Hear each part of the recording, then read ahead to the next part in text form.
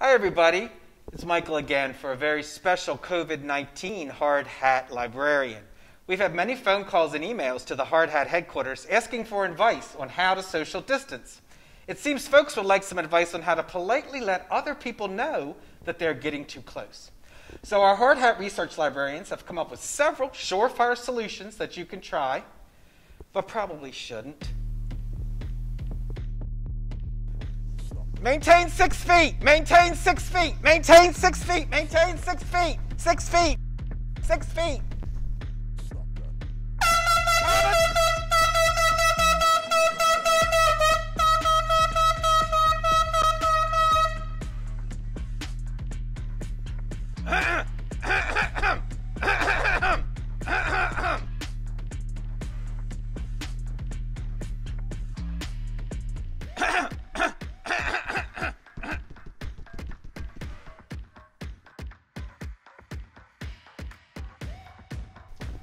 Six feet, six feet, six feet. Six feet, six feet, six feet. Six feet, six feet, six feet.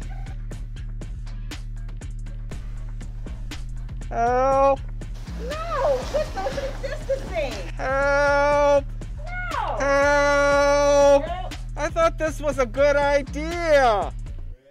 But really, the best thing to do is just say, Excuse me, would it be okay if you backed up a little bit? Just making sure we're all safe. So remember the three most important safety rules for the pandemic wash your hands with soap and water for at least 20 seconds, wear a mask, and social distance and keep six feet between yourself and others. Stay safe.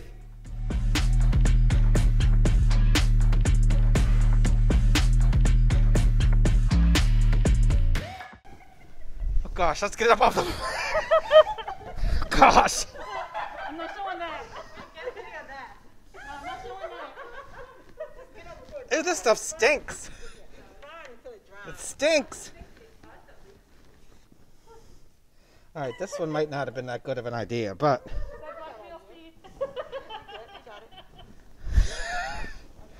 don't be putting that in the video.